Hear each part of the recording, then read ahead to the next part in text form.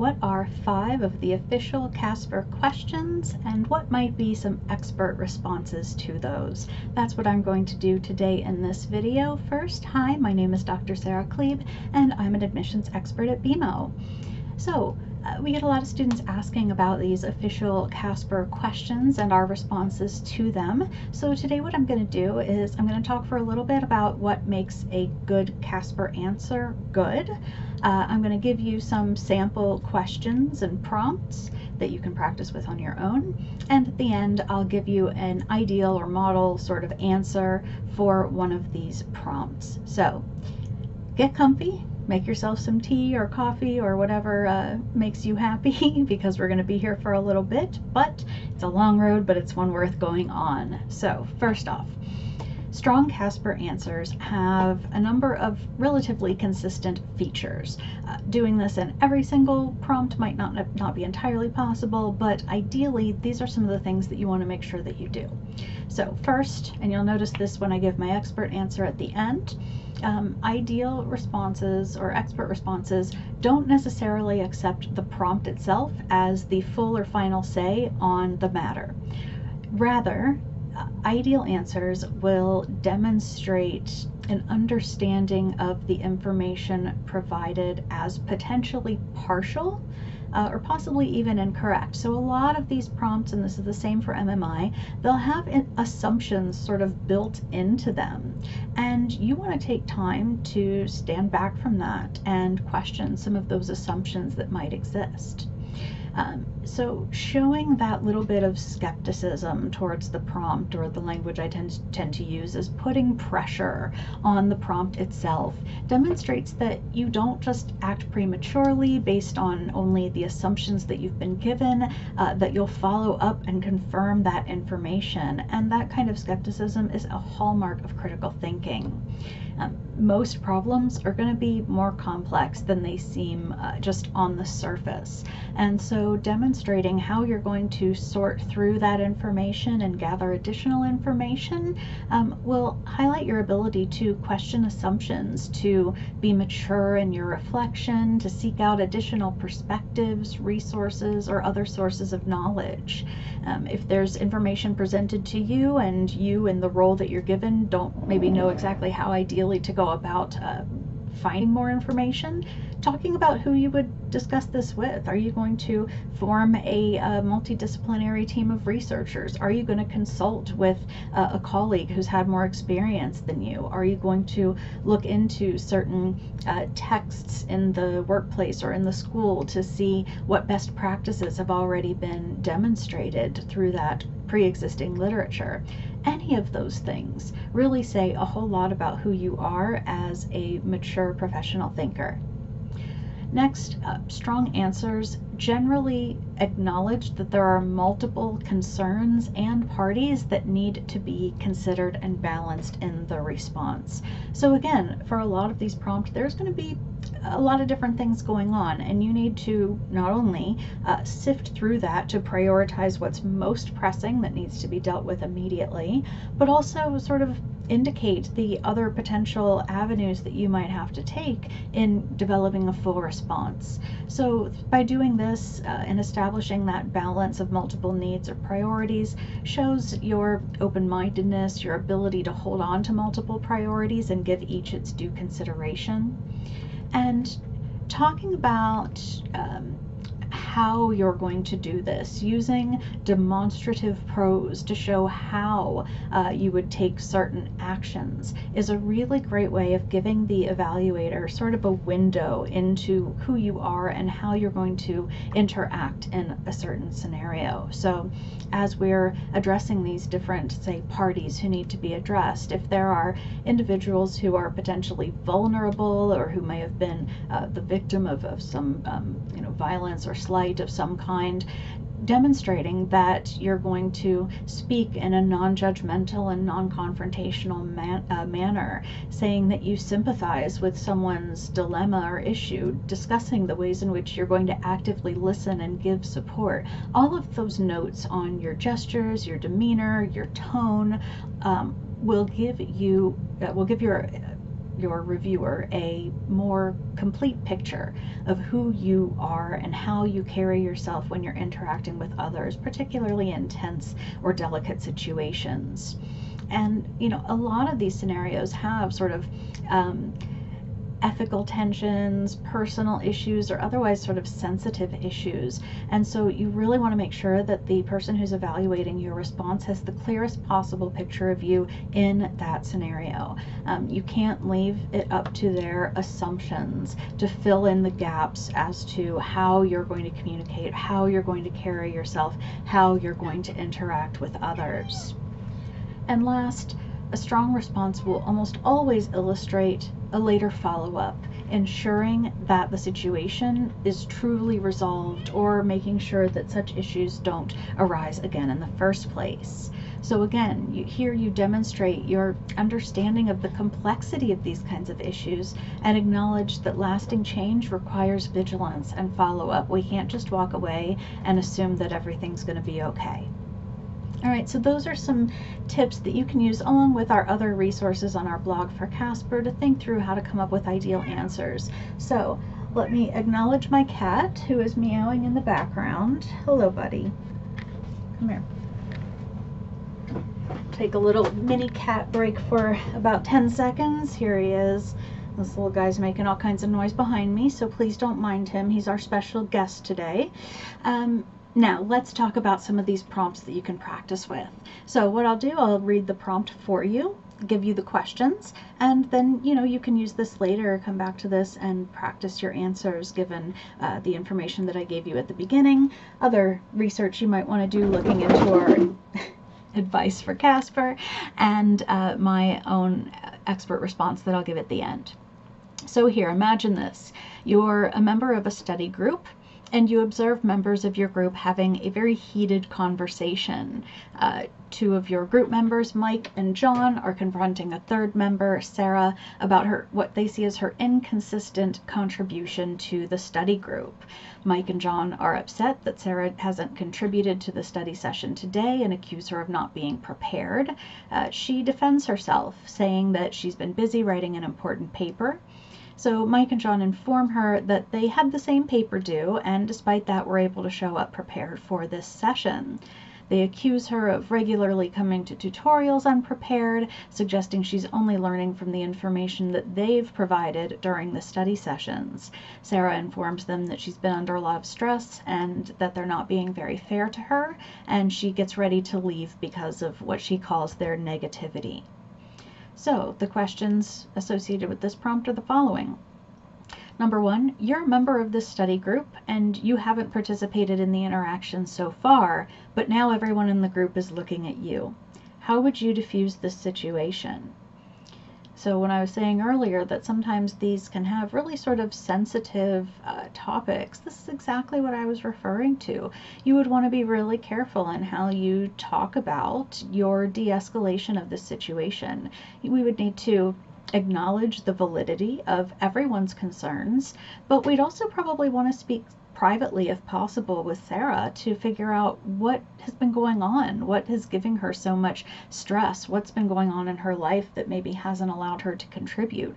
We don't know what's going on in her life. Uh, it could be something um, superficial or it could be something really significant. Um, the others are working under the assumption that this is just her blowing things off, but it looks like there might be more going on. We would need to gather more information and do so in a very um, delicate and sensitive way in order to figure out what's happening. Question two, do you agree with the two students who are upset with Sarah? Why or why not? Uh, and number three, what suggestions can you make to help the group function better going forward? So the second question, again, we're going to want to use some tact and some diplomacy. Um, we don't necessarily want to agree with either side, uh, these two students or Sarah, until we've gotten more information. We don't want to jump to any conclusions. Um, and in terms of suggestions, thinking proactively, just draw on your own life. What are some things uh, that you found have helped increase participation in group projects that you've done? Or if you've been the student who didn't always contribute so much to group projects, what could have been done to make you want to interact more? Use those as your inspiration for answering. All right, prompt number two. Here, you're sitting in on a conversation between two individuals, Tom and Jesse, your co-workers. Uh, Tom informs Jesse that he's having a tough time with a personal decision. He and his wife are expecting a child, and his wife would like him to take paternity leave with her. He tells Jesse that the company is taking on this new project that he would lead, and doing well on that project could significantly advance his career despite this excitement for parenthood, he's really struggling with uh, the decision between spending time with his family in the short term versus focusing on his career, which could ultimately benefit him and his family in the long term. So questions here. The first question, uh, what recommend or would you recommend that he take paternity leave? Why or why not? Again, a lot of factors to balance here. Now, you're not, of course, going to be making the decision for this individual. They want to know um, what would you recommend?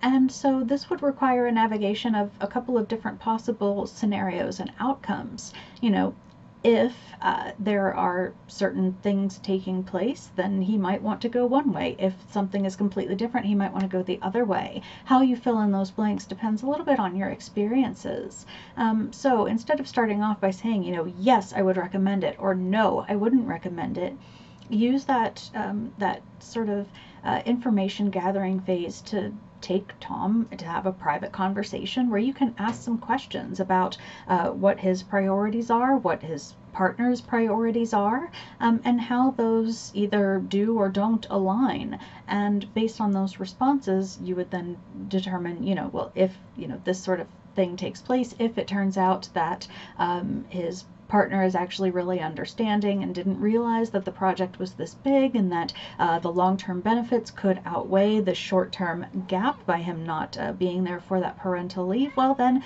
maybe he should take that opportunity.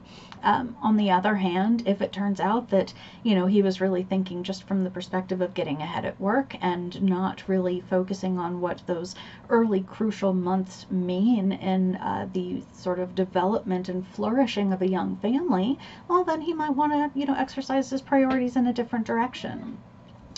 Um, question number two, what strategies could you offer to help him make a decision that he feels comfortable with?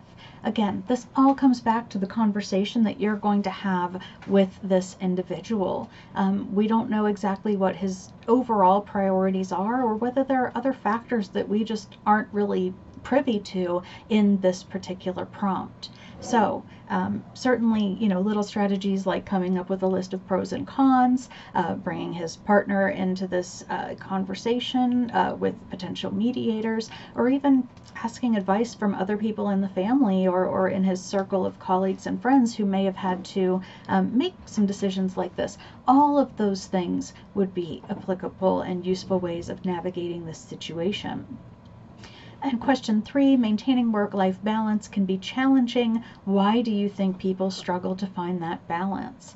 Now that's a personal question, right? Just asking you about your opinion. It's not necessarily explicitly or specifically related to this prompt. They're just asking you a little bit more broadly, what thought have you put into maintaining that work-life balance? And why do you think people struggle to find this? You could also talk about, you know, your own struggles with finding that balance and maybe some ways that you have worked around it or that you are in the process of um, sort of refining in, a, in uh, preparation, uh, thinking in advance of the kinds of uh, difficulties of balance that you might face yourself. I'm going to pause for one second. And I returned. Sans cat. All right. So, moving on to prompt number three. Here, you're sitting in a meeting with two co-workers, Frank and Julia, um, and Frank wants to talk about a member of his team, Jason, with regard to some concerning behavior. Frank is concerned that Jason has been showing up late to work and has been seen dozing off during meetings. And despite this behavior, the team's overall performance uh, has been very positive. So Julia weighs in on the conversation, saying that uh, the company encourages flexible working conditions where employees can maintain their own schedules as long as they maintain good performance with positive reviews. Frank uh, elaborates that Jason has been acting a bit distant lately uh, and has been avoiding personal questions about his family. So he's worried that this behavior could be a sign of something more serious going on. Uh, Julia seems dis- uh, some, seems uh, concerned by this disclosure, um, and she informs Frank that you know as long as Jason hasn't shared any specific struggles uh, with Frank about any of these issues, that it would be something of a transgression of boundaries to approach Jason about personal matters. So, questions. Number one, what advice would you give Frank about his team member Jason? So, this is a question of professional boundaries to some extent, and thinking carefully about how you might want to approach that um, is is something that's it's really good to practice. These questions of personal and professional boundaries can be quite tricky um, because, of course, we want to show concern for our team members, both on the human level and on the, the practical level of you know ensuring that a business is running smoothly. But there are barriers that exist to protect all all of us. Um, not all disclosures and such conversations uh, are going to be positive or, or beneficial in the workplace, and that could cause tension. So, you would really want to sort of think through how you're going to balance that sense of boundaries that are necessary to maintain in the everyday workplace versus that concern that you might have for your coworker. So, um, you know, this would again be a place where you could step aside, see if you could um, have or set up a private meeting uh, where you would, uh, or whether you, you could, if you know Jason, or if Frank is closer to Jason, you could encourage him to set up such a meeting, um, creating that sort of safe, non-judgmental space to simply ask a few open-ended questions and make sure that uh, that he's okay. Um, perhaps Jason is really just tired. Um, maybe he's got insomnia. maybe there's something um, small going on that could, you know, easily be resolved. If there are larger issues going on, say with his family or something like that, it wouldn't necessarily be appropriate as a coworker to get involved, but pointing them towards resources that could help them in their personal life would be more appropriate. Question number two, do you agree that taking any additional action in this situation would be considered overstepping boundaries? Why or why not? So again, here you need to talk a little bit about what professional boundaries mean to you and why you would or wouldn't consider this an overstepping of those limitations. Um, if the intent behind finding out these details is to legitimately help a team member and thus also help the business, that's one thing to take into consideration. If it's just out of curiosity um, or for the purpose of gossip, that's a totally different consideration. Uh, and number three, imagine you heard rumors that Jason was being bullied at work. Would this change your reaction to the situation? Again, you need to determine sort of what position you're ultimately going to take before you can decide whether that would uh, would make a difference in your overall response. Um, if you think that uh, the boundaries that exist do give some leeway for um, some genuine engagement with the issue with the other person and some genuine support and pointing towards resources and things like that, then maybe your response wouldn't change uh, based on uh, this idea that Jason is perhaps being bullied. Um, but that's a decision that you have to make. What's important is that you're able to really think through the ramifications of your actions in either way, um, whether you're saying something or you're not, whether you're making that uh, open space for reflection or you're not, whether you're intervening or you're not, and the reasons behind all of that. Those are the things that you need to demonstrate uh, and that you need to think through as a mature professional. Uh, next, you are the captain captain of your high school basketball team. Your team has been preparing for or preparing all season for regional championships, which are now one week away. You get a call from your mother in distress saying that her sister has died unexpectedly. This sister, your aunt, uh, hasn't been close to the rest of the family, and you barely know her. Uh, the funeral is the same day as your regional championships, and the events are four hours apart by car, and you don't have a driver's license. So this is a really tricky situation, one that a lot of people have uh, have dealt with or will have to do it, deal with at some point in the future. Um, so the first question: Do you attend the funeral or the basketball game, and why? This is a question about your priorities and that's not a question that uh, that you know any of us can really answer for you. You need to think really carefully about what is the most important thing here. In either case you have two people or two sets of people relying on you. Um, even if you don't know your aunt very well that is your mom's sister. They have a long history and being there for family is very important. Being there for your team is very important as well. So you'd want to really carefully detail how you're going to think through again the ramifications of your your actions uh, and then make a decision. Uh, question two is describe a time when you had to make a similarly challenging decision. Again, this is a, a question about your own autobiography, your own life story. We've all had to make difficult cha- or challenging uh, decisions at, at times in our lives. So, talking about that decision, but really using that opportunity to reflect on the decision that you made. Was it the best decision, do you think? What lessons did you learn from having to make that decision? Those are important. And then question number three, what's your strategy for managing con- uh, conflicting demands in your life and how did you develop this strategy?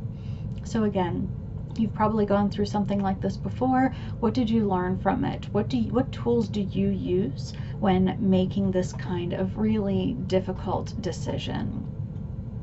And now, our final prompt with questions and some full-fledged expert answers. I've tried to give you some tips, pointers, or things to think about for the other questions. I'll give you a full-fledged answer uh, to these. So, let me get some tea. All right. The prompt is this. You are an employee at a retail store and you overhear an interaction between a customer and another employee at the cash register. The customer is here to return an item. However, she doesn't have the receipt for the item uh, and claims to have paid in cash. Despite assurances by the customer that she really did buy the item at your store, your colleague informs the customer that while she can provide a store credit or an exchange, store policy does not allow for refunds of more than $20 without a receipt.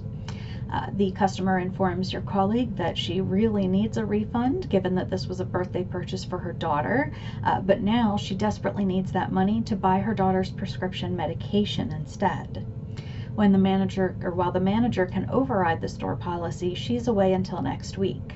Your colleague turns to you for advice given that you've been working at the store for longer than she has. So, a pretty common scenario if you've had the uh, the opportunity to work in retail or customer service, you know that this is uh, something that happens all the time. Uh, but there's a lot at stake in this particular iteration of the scenario in terms of what this woman claims to need the money for. So, question number one is what do you tell the other employee? Go ahead and give the refund or abide by store policy and justify your answer. So if I was answering this, this would be my response. So, as a fellow employee at the store, uh, the pressing issue here is that there's an ethical dilemma. I want to help the customer as best I can without compromising the store policy, uh, before I make a decision on that matter, I would first need to gather some more information. So, as I take this step, I would want to verbalize my appreciation for the customer's patience uh, and speak with her in a very non judgmental, non confrontational manner, demonstrating that I understand that she's in a really difficult situation and demonstrating my active listening uh, to her in um, acknowledging her concerns, uh, validating her responses, um, and even just giving uh, basic uh, body language clues like leaning in and, and, nodding my head as she's speaking. If there's other customers around, uh, I would really want to try to take this conversation to a private location. Um, I don't want to embarrass the customer, make her feel uncomfortable. She's talking about a pretty personal issue, so I'd want to make sure I could make some safe space for disclosure if possible. Um, so I, in gathering information, I need to know when this customer bought the item, uh, confirm that she did buy it from this precise location and not some other uh, chain of our store. It's possible that she could have bought it months and months ago, even maybe years ago, um, and as such, it just wouldn't be eligible for a refund. But that's information that we haven't been given in the prompt. Um, additionally, I want to look at the store's policy itself uh, to ensure that there are rules quite so strict uh, with regard to refunding items without a receipt. Um, in this scenario, I'm not a manager, so I need to look up those resources myself. Maybe there is a clause where store employees can return items without a receipt for a full refund based on their own discretion. Um, I also acknowledge that in this scenario, my manager is away, um, but I could always call a different branch of the store uh, where who, where there might be a store manager available, um, and perhaps they could provide guidance, or if possible, maybe I could see if it was if I was able to call our own store's manager to see if I could get an approval to process the return um, based on whatever information I'm able to gather. If the customer did indeed buy this item from our location and I'm able to give them a refund in cash based on some discretionary rule or some leeway in the policy, uh, then I wouldn't hesitate to give the full refund. If I'm not able to process or provide a refund, I would apologize profusely. Um, however, I would also try to assist this customer in any way that I can.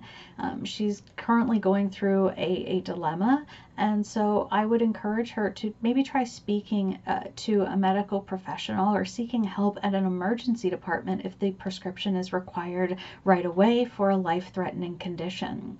Um, they can't fill her prescription, but maybe they could give a dose of the medication in the meantime to buy some time. Also, I'd encourage her to talk to her pharmacist. They may be able to accommodate a payment, plan for prescriptions or might have a generic form of the medication that could cost significantly less. Uh, for the future, I'd encourage her to always contact her family physician and make an appointment, given that they might be able to um, access certain kinds of social support programs for prescriptions if she's having consistent financial difficulties and doesn't have the um, coverage necessary for those kinds of prescriptions. As well, in mentioning her financial difficulties to her family physician, she might find that the doctor could prescribe a similar medication that's considerably less expensive than the current prescription that her daughter's taking. Um, perhaps the doctor may even have some samples of the medication which can be given out at no cost right so again as in the beginning what i said uh, i've gathered more information. I've had to explore the space of the scenario a bit more because there's a lot of information that I didn't have that would influence how I moved forward.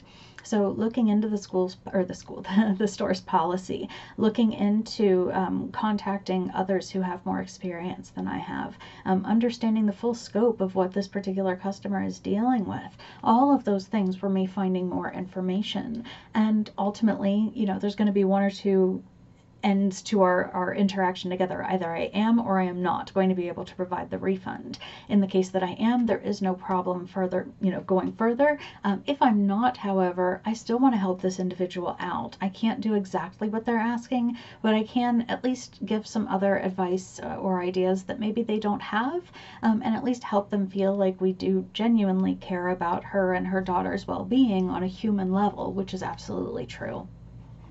So question number two, as uh, assume you advise the newer employee not to give the refund, but she does so anyway. Do you report this to your supervisor? Why or why not?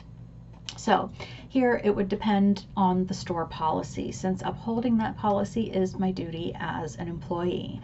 If there were some kind of discretionary rule whereby an employee can provide a refund given that they have a solid justification for doing so, then I wouldn't report her. I would instead encourage her to thoroughly document the event so that she can submit a report to our manager upon the manager's return. If it was clearly against the rules and my own advice was in line with the store policy and procedures, then I'd give her the opportunity to do the right thing and report her actions to the manager herself. Um, I would gently remind her that she does have a responsibility. Um, and that responsibility is at least in part as an employee. And so I would want to encourage her to uphold our store's uh, policies and standards in that role.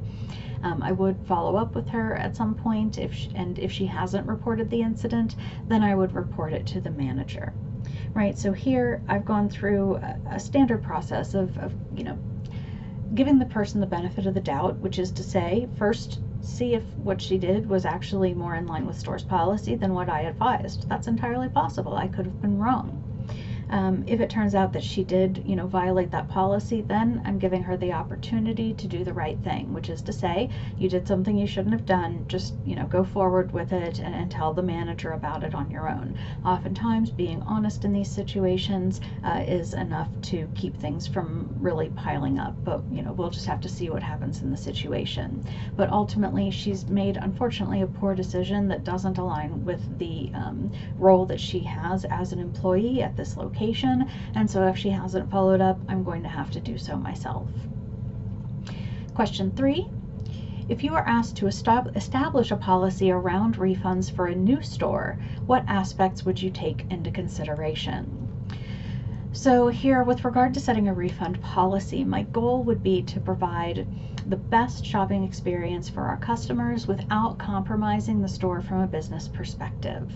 Prior to establishing the new policy, I would want to hear from our customers first to learn what they want to see in a return policy, um, what kinds of policies they think might be fair. I may not be able to implement all of these, but hearing from our customers first is a good way to really understand what the customer uh, business relationship looks like. So I would get that information through maybe a survey uh, with our customers, trying to determine what seems fair and appropriate from their perspective. Um, I'd also send a similar survey to um, other employees, to upper management to get their input on it. And I would look into refund policies at other stores to see um, how a proper balance between customer and business needs is met. My own priority would be making the return policy transparent, uncomplicated, and in the best interest of the shopper. With regard to transparency, I would clearly outline the, the, the, return policy on our store's website and place a copy by the store's cashier. I would have training sessions so that employees can learn and disclose those policies at the point of purchase. With regard to ensuring the policy is uncomplicated, I would construct a policy that is simple, universal, and that doesn't include a lot of rules. Um, ideally, I would want maybe four to five rules to the policy that, um, as firmly as possible, protect both the customer and our store. Additionally, I'd want to provide an electronic as well as a printed receipt to our customers so that they can access their receipt from anywhere. That way, uh, if the issue uh, in the scenario comes up, uh, it would be much likely, much less likely to arise in the future that she would have a receipt on her regardless of how long ago she had purchased the item. So with the customer's consent, I could establish an in-house database as well uh, that where items that are purchased by a customer can be looked up in our system. This would be a service provided to our customer. They would have to enroll um, of their own volition, given laws around privacy and maintaining their personal information in our database. Um, finally, with regard to having the policy lean more in favor of the customer, I would have a no questions asked policy if they are returning one of our pr products so long as the other rules have been followed. Right, so in each of these, I've found different ways to collect information to demonstrate some of the things that are lacking or missing in the prompt that I would need to push on or, or um, ask questions about more fully. I've demonstrated not just what I would do, but how I would do those things, giving an impression of who I am in that space uh, through narrative devices that allow the reviewer to uh, imagine me going through these activities. And I've always tried to balance the competing um, tensions, priorities, or needs that exist um, by taking them into account and offering some different uh, possible ways of moving forward depending on how things ultimately play out. So feel free to use some of those tips as well as our others to go back through and answer the prompts that were early in this video. Uh, that's about it for me, so I hope that you enjoyed this video and that you found it helpful. If so, please do go ahead, like it, share it with a friend who might benefit from it. Be sure to subscribe to our channel on YouTube, follow us on Facebook, and look for us on a variety of other social media. If you'd like us to help you, click the link that should appear either above or below this video to see our programs and schedule a free initial consultation. We'll set you up with one of our admissions experts to answer any questions you might have and get you started on your preparations. We have programs to suit any of your needs and we are happy to work with you to determine which plan will support you most effectively. As ever, thank you so very much for your time. Take good care and I'll see you next time.